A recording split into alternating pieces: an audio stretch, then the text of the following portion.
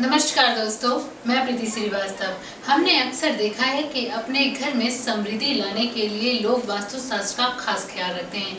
जब भी अपना घर बनवाते हैं तो हमेशा अपने वास्तुशास्त्र को देखकर ही बनवाते हैं। या फिर उसका जो डेकोरेट करवाना है, वह भी वास्तुशास्त्र को ही देखकर करवाते हैं। अपना गृह प्रवेश भी अपने पंडित जी से या फिर वास्तुशास्त्र के अनुसार ही पूछकर और पता करने के बाद ही अपने घर में गृह प्रवेश करते हैं। लेकिन वास्तुशास्त्र के कुछ ऐसे उपाय भी हैं। यदि आप करते हैं तो आपके घर में धन और समृद्धि और कुबेर, लक्ष्मी हमेशा विराजमान रहते हैं। हर किसी व्यक्ति को धन की लालसा होती है। हर कोई व्यक्ति चाहता है कि उसके बिज़नेस में हमेशा प्रॉफिट हो, उसे कोई लॉस ना हो। लेकिन कभी कभी ऐसा हो भी जाता है कि उसके बिज़नेस में लॉस हो जाता है। कभी कभी कुछ ऐसे कारण भी हो जाते हैं जिसकी वजह से उसके बिज़नेस में इतना लॉस हो जाता है कि वे घाटे में आ जाता है। लेकिन कुछ ऐसे वास्तुशास्त्र के उपाय हैं, यदि आप करते हैं तो आपके घर में और आपके ऑफ़िस में या बिज़नेस में आपको प्रॉफिट होता है।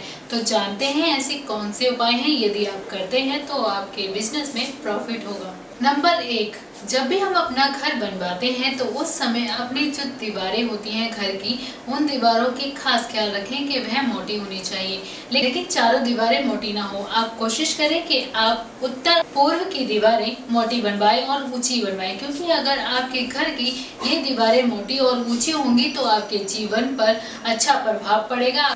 आपके जीवन में आने वाले अवसर थोड़े कम हो जाएँगे तो आप उत्तर और पूर्व की दीवारें ही मोटी करवाएँ। नंबर दो, आप अपना घर बनवा रहे हैं, उसके लिए कोई प्लॉट खरीदते हैं, लेकिन प्लॉट खरीदते समय एक बात ध्यान रखें कि आप सड़क से ऊँचा ही प्लॉट खरीदें, क्योंकि यदि आप सड़क से नीचे वाला प्लॉट खरीदते हैं तो आपके जीवन पे और आर्थिक समस्याएँ बढ़ जाएँगी। तो आप अपने बिज़नेस के लिए या अपने घर के लिए प्लॉट ऐसा खरीदें जो सड़क से ऊँचा होना चाहिए, जिससे कि आपके जीवन में समृद्धि के लाभ हों और आपके जीवन पर नए नए अवसर मिले और आपकी नौकरी में भी प्रॉफिट होगा। नंबर तीन, अपना घर बनवाते समय या ऑफ़िस बनवाते समय अपने दक्षिण और पश्चिम दिशा में पेड़ पौधे लगवाएँ। पेड़ पौधे भी ऐसे होने चाहिए जो ऊँचे ऊँचे हो, आपकी बिल्डिंग तक पहुँचे। ऐसे पौधे लगाने से आपके घर में आने वाला दुर्भाग्य उन पेड़ों से टकराकर ही दूर चला जाएगा। हमेशा सकारात्मक ही रहेगा और आपके जीवन में हमेशा लाभ और प्रॉफिट के ही बेनिफिट रहेंगे।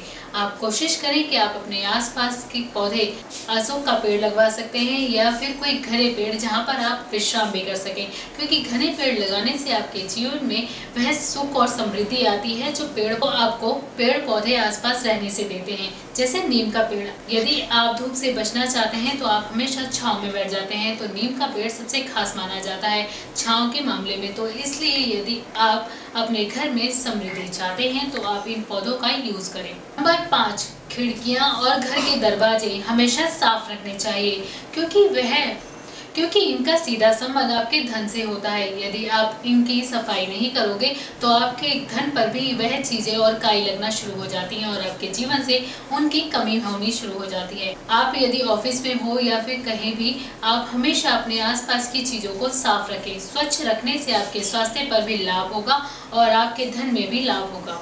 यदि आपकी धन लक्ष्मी प्रवेश करें तो उन्हें भी लगना चाहिए कि घर साफ़ सुथरा है, क्योंकि लक्ष्मी माता और कुबेर उसी घर में प्रवेश करते हैं, जिस घर में हमेशा साफ़ सफ़ाई पर खास ख्याल दिया जाता है। तो यह है वह कार्य यदि आप करते हैं तो आपके जीवन में समृद्धि आती है और आपकी किस्मत खुल जाती है। मेरी इस वीडियो को लाइक शेयर एंड सब्सक्राइब करना ना भूलें। जब तक के लिए मैं प्रीति श्रीवास्तव, आपसे इजाज़त लेती हूँ।